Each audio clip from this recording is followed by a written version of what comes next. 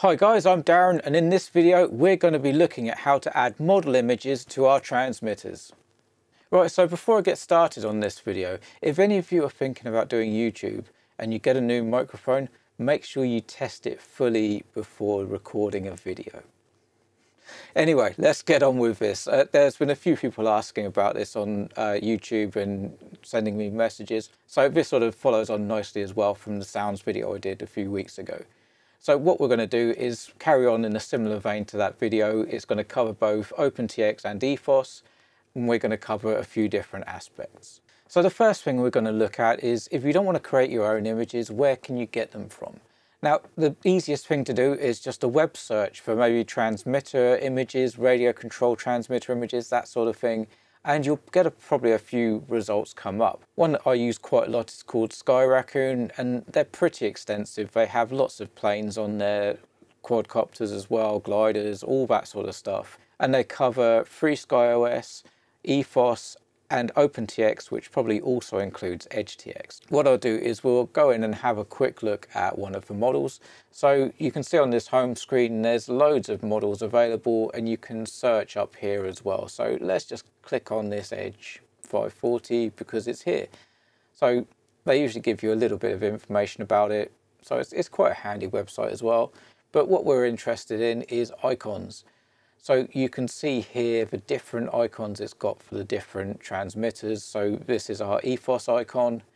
We have one for OpenTX for the LCD screen type OpenTX transmitters.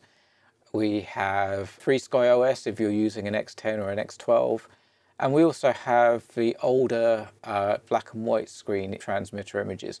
So this says X9, X9D, X9E, but it'll probably work fine on a QX7, that sort of thing, maybe even an X Lite. I, I don't know, but this would probably be your best bet for finding those icons. So to download is simple enough. All we need to do is click on what we want. So what I'm going to do is actually download uh, this one for ETHOS.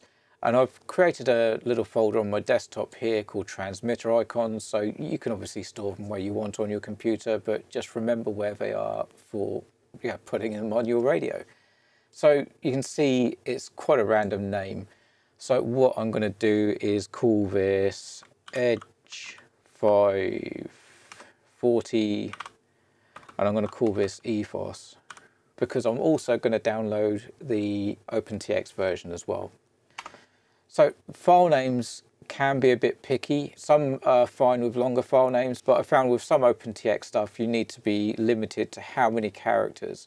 So what I'm going to do is just click on this one here. I'll call it Edge 540. Let's try OTX for OpenTX, see if that works. And also I'm not using spaces or anything like that on this one. Just again, I've had problems in the past. So now we've downloaded our images, we could actually put them straight on the transmitter if we wanted to. But first what I'm going to do is show you how you can actually do your own images for the transmitter. So what I'm going to do is just get rid of this for a second and we'll just look at the two icons that I downloaded because what you obviously need to do is create the image to be the correct size for your transmitter. These both look very similar and the images from this one will work on this one and vice versa but they are different sizes so they're not really optimized for that transmitter. You can already see that the OpenTX one is more a letterbox shape so it's more like a widescreen format whereas the ETHOS uh, icon is almost square. So you can see I'm hovering over the images and it's given me a dimension of 300 pixels by 280 pixels and the uh, OpenTX for the color LCD screen type transmitters is 192 by 114 pixels. I'll put those sizes in the video description so you don't have to remember them. But what we want to do is we will need to know what size it is for creating our image. So where do you get these images from? Well, it's up to you. So for my transmitter, I want to use this image of my mini AR wing that I took. And yeah, why not? It's cute with its googly eyes. So why not use it? And then it's personalized to me. You can you know, take pictures of your own models on flight fields and you can do whatever you want with them. Now, just to be clear, in this tutorial, I'm not covering uh, image editing in an, any sort of advanced way. you can get so in depth with that, like if you wanted to cut it out so it had an outline, because on both ETHOS and these color LCD screen, you can have a transparent background. I'm also not going to be going into different image editing packages because to be honest, if you use one, you'll be using whatever you're used to.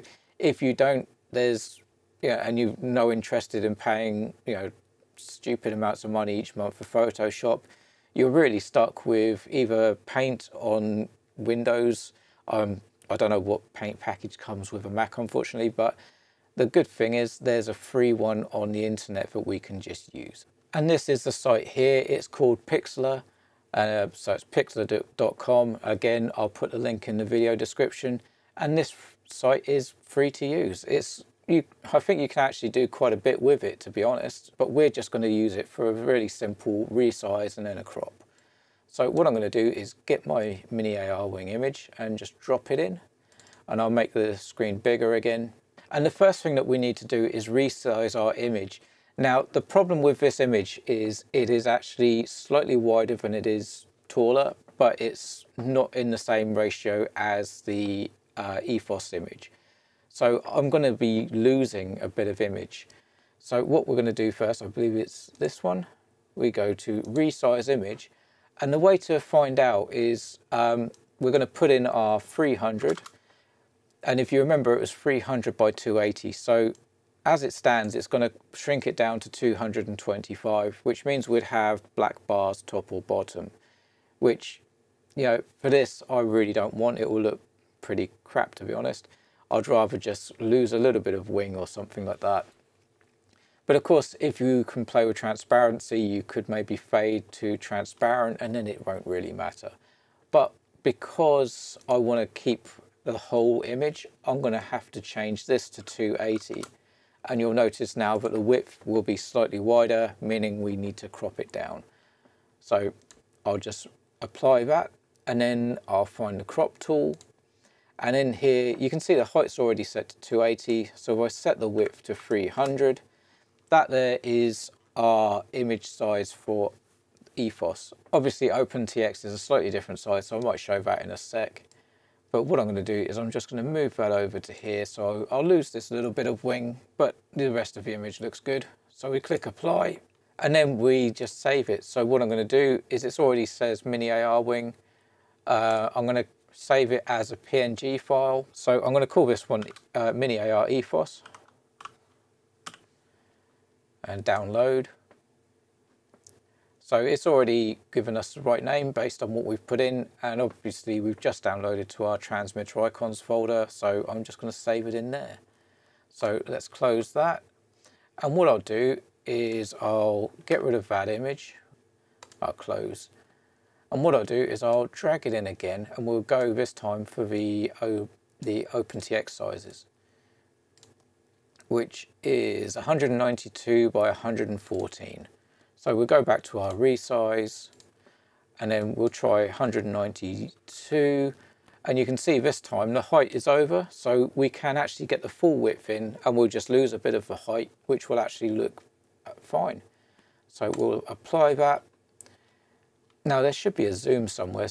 Oh, just use your scroll bar. But you can see it's pixelated, but that's where it's so small. But for the crop, it might be helpful. So anyway, crop and rotate. We've got 192, so we'll put 114 in here. And you can see we've shrunk down. So we can either use rule of thirds and get that in the bottom half or bottom third. That would actually look quite nice. So we'll save that this time we'll call it OTX. Again, I'm going to save it as a ping and we'll download it. And there we go, that's our images done. So now what we're going to do is put them onto the transmitters. Right, let's do OpenTX first. And what we need to do is obviously connect it up with our USB cable. So what we'll do, we'll power it on. Yeah, blah, blah, blah. And then what we need to do is obviously plug in our USB cable, depending on your transmitter is, you know, depends where it is. So clear all the messages before you plug the USB in. Right, there we go. Okay, so when you plug your USB cable in, you obviously get this message. We want to set this up to USB storage. Now that that's happened, we can go back to our computer and what we need to do is open up a file explorer. So the easiest thing to do is right click on it and go file explorer and we'll get a new one. I'm just going to drag that to the side, click on this one, then we get a nice half screen of both. So now what you need to do is find your um, SD card. So with me, I always rename my SD cards in the transmitter, so it's nice and easy to find. So this one is Horus X10 SD, so I know exactly what it is. We've got this other drive here, X10, which is the flash storage in there. If you want to rename your SD card, it's really easy. Just right click on the SD card and go to rename, type what you want in.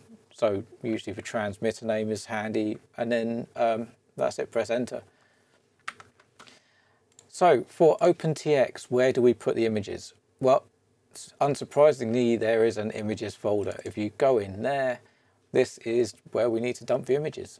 So I'm going to choose the edge and the mini AR wing, and I'm just going to drag them across. So you literally just click on them and hold the left mouse button down and drag them in, then let go of the left mouse button.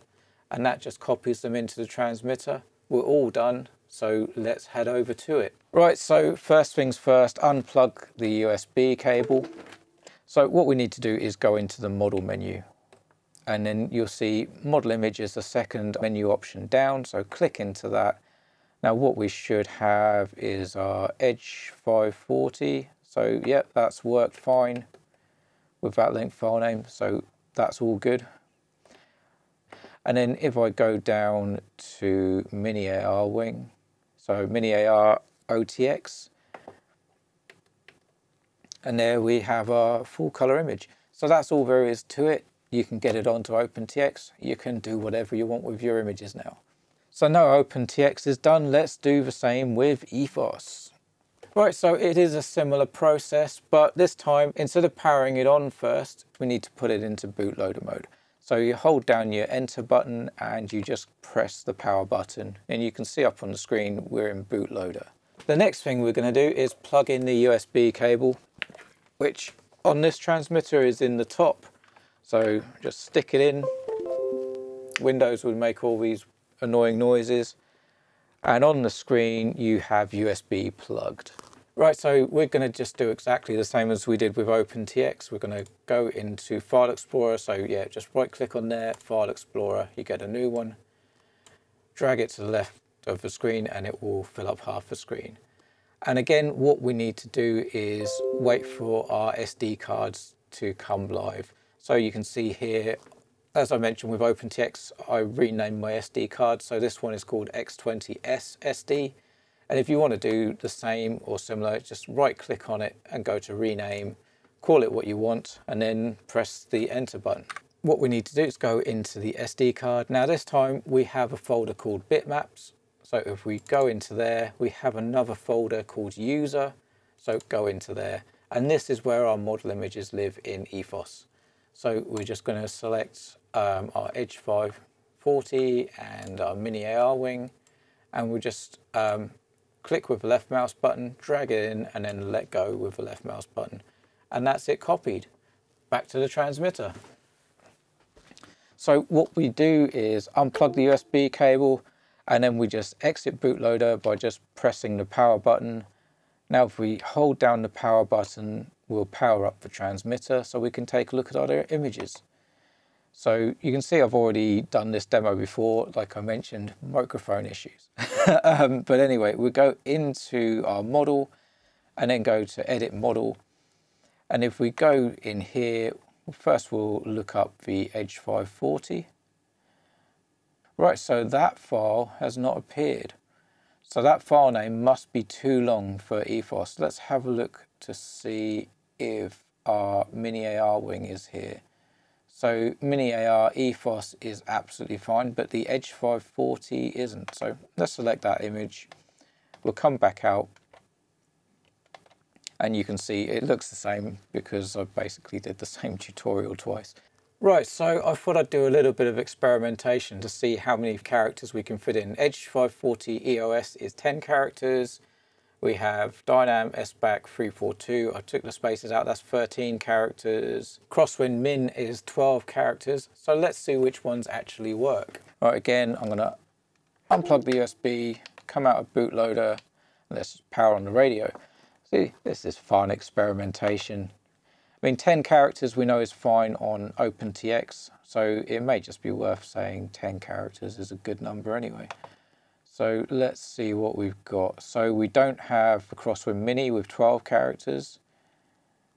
We don't have Dynam, but we do have Edge 540 e, or EOS and the image is showing up absolutely fine. Right, so there we go. I've learned something today. We have a number four characters in our transmitter images. So let's wrap this video up. What we've done today is we've learned where we can download images from, where we can search for different websites to download our images from.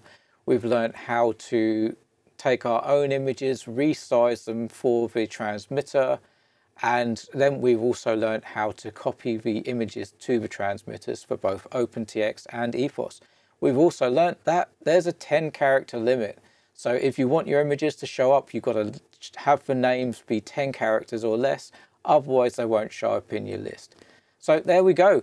I hope you guys have enjoyed the video and I hope this has been useful for you. If it was, please give this video a thumbs up and don't forget to like, subscribe and click the bell icon to get this video out to more people so they can learn how to do this too. Thank you very much for watching guys. Fly your models like you stole them and have a great time. See ya.